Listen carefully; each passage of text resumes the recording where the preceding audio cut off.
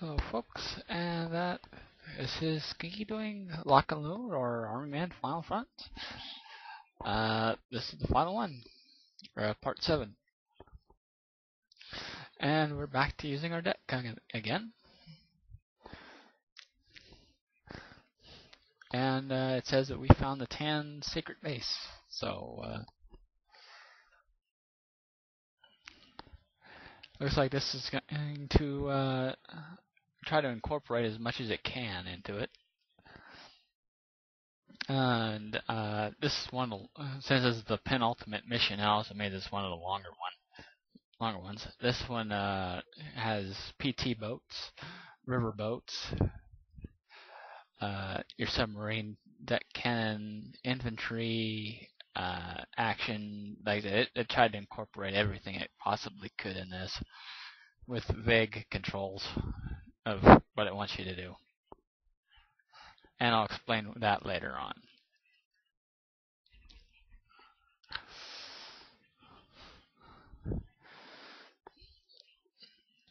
So uh, what we're going to do here is go ahead and park our U-boat here.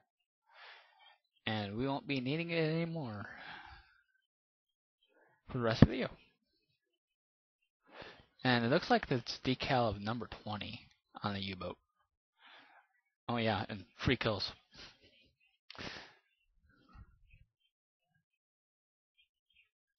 Yay, free kills. Gotta love free kills. Oh, even more free kills. yeah, it looks like they were trying to do an ambush mo moment there, and it kind of failed. 3DO trying too hard again, I suppose. Uh, there is a little bit of save state abuse, and that's near the end, and that's just because I don't want to waste your guys' time. But I was able to do this in one run. It's just that, like I said, it was like near the dead end of the map, and I didn't feel like playing the whole level again just to get a good recording when I was like right there. So, uh,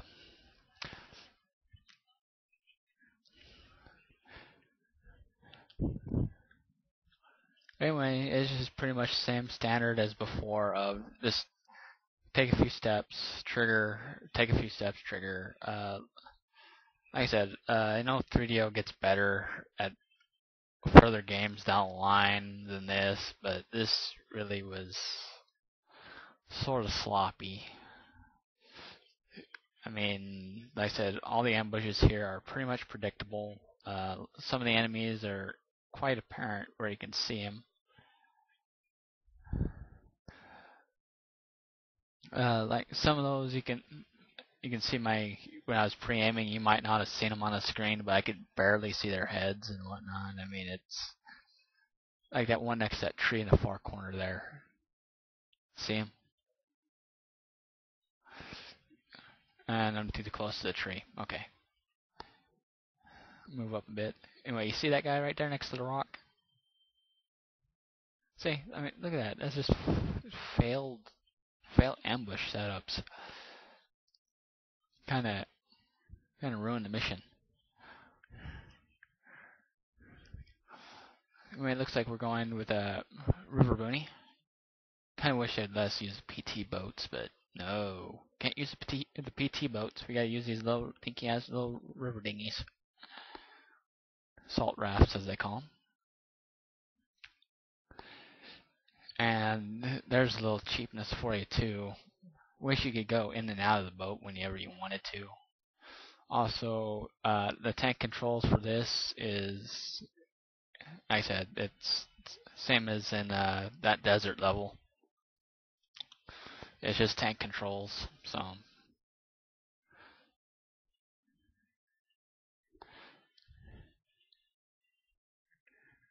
Luckily, there's nothing too bad. These things are a little more eye level this time. It's not ridiculous like that uh, bridge shot.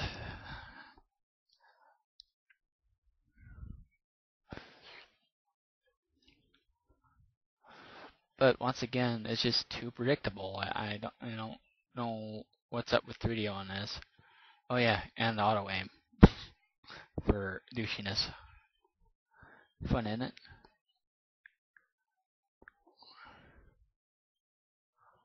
Well, anyway, we just have to tr keep trolling until we find the right one. And that's not the right one. It looked like it might have been the right one, but it's not.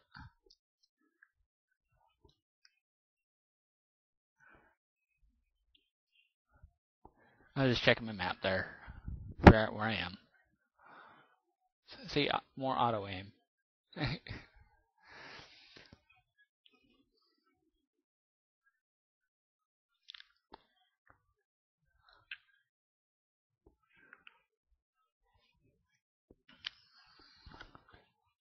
That's a good game.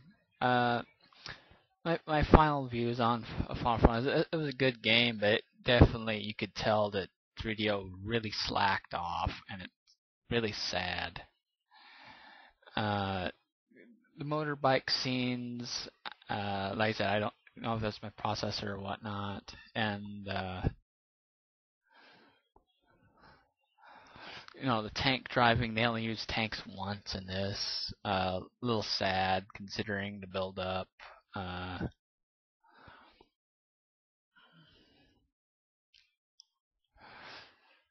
And this is some more of that predictable ambushes.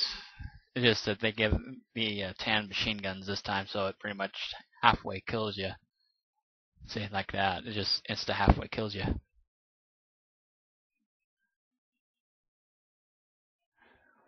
But if you take your time, use cover pretty well, you're good to go.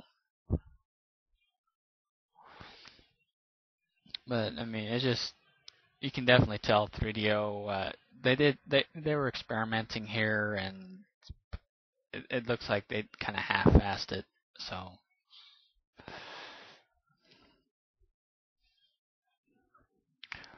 I mean com- comparing this to Land Sea and Air and uh, World at War I mean Land Sea and Air incorporate a whole heck of a lot of fun stuff into it. And if if anything, mix the uh, gameplay of World at War and the uh, unique game mechanics of Land Sea and Air uh, would have been an excellent combo of a game. I liked both their gameplay systems and styles. This one was just, oh, let's throw in tank mechanics and go with it. And uh, I mean, that would have been good if you made like an MMO or something, or you know, where you'd actually have to manually drive the vehicle. But it just, mm, doesn't seem right.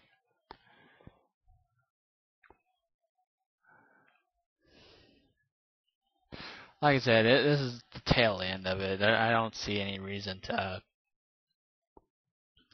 go back and do all the ship section just for because I'm like at the dead end of this. They try a little bit harder on their unit placement here, and it actually shows they put some more effort into it. But it's still kind of rather predictable, unfortunately.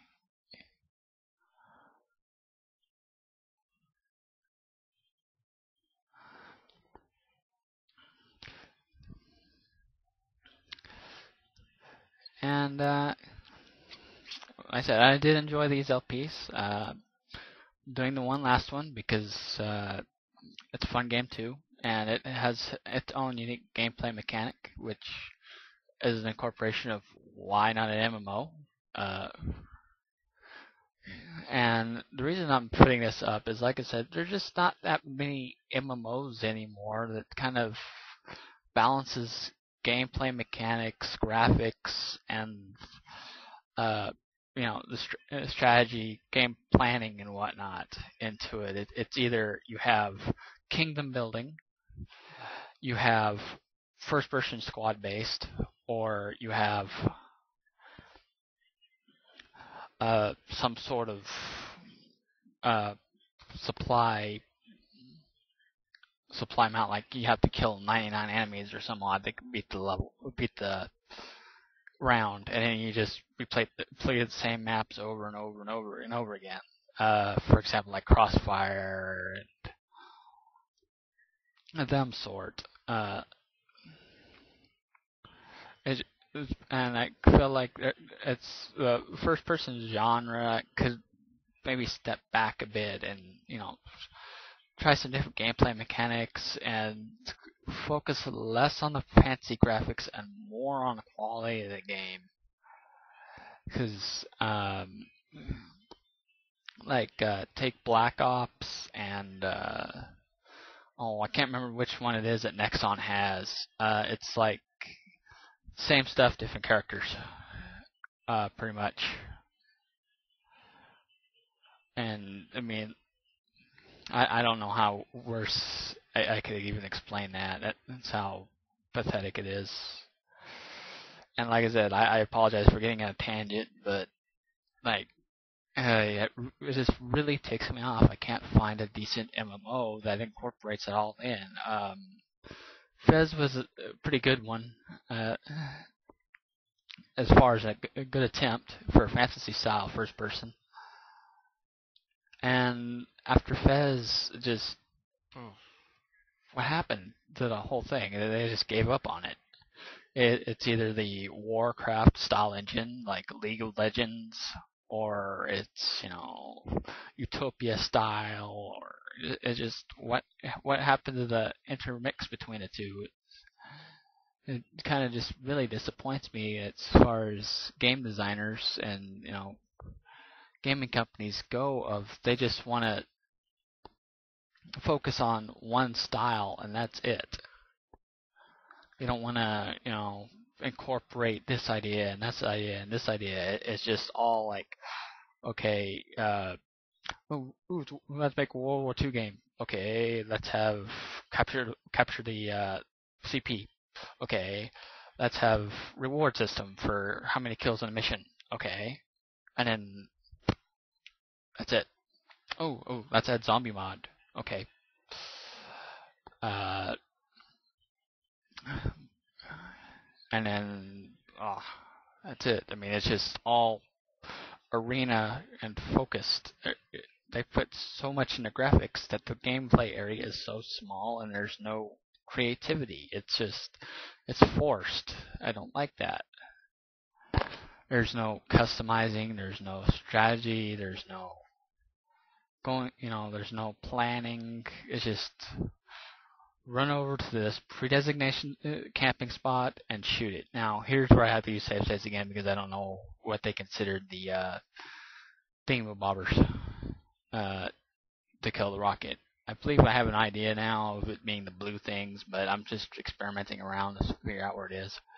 But I mean, it's just it really ticks me off. They, they show all these. Oh, this has the next gen graphics. This game has graphics so high that you have to upgrade your computer to the newest stuff to get it to play, and yet it plays exactly the same as the game as a different game that was six years back. It's just respawn, walk five steps, get shot, and then respawn again. Nothing original. That just really ticks me off. And like I said, I apologize for ranting at the end of this video about it, but I need but it just really, I really want to get that across to game developers. That if you're serious about gaming, come on. Don't go with the same mechanics every time. The graphics may look pretty. You may get your design, uh, art design in some college, okay. But come on. Bring more to the game than just shooting the guy and then respawning again. Uh, the engine's been done. Oh, and we've killed the rocket finally. So, uh, we win. Rocket's destroyed, no, and we get to get a victory march. And here's our cheese ball credits.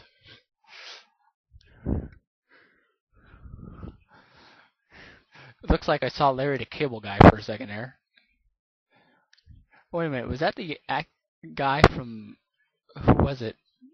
That that one guy with the fro. That that looked like one of those guys from My Name Is Earl. Okay, let's see who else we can identify here. Uh, look, the hand. That's a hand. That's a good one. The hand. Uh, anyway.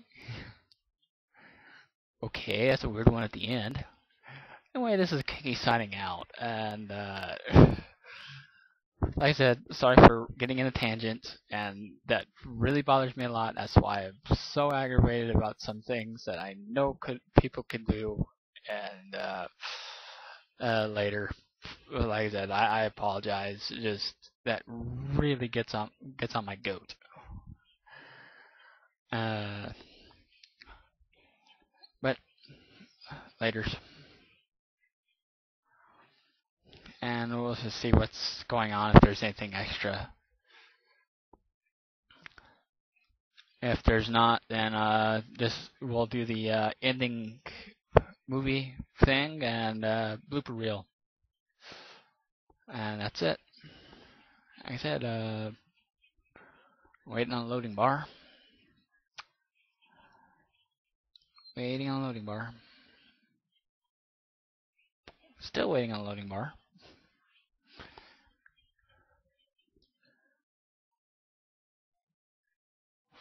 Uh, come on, bar.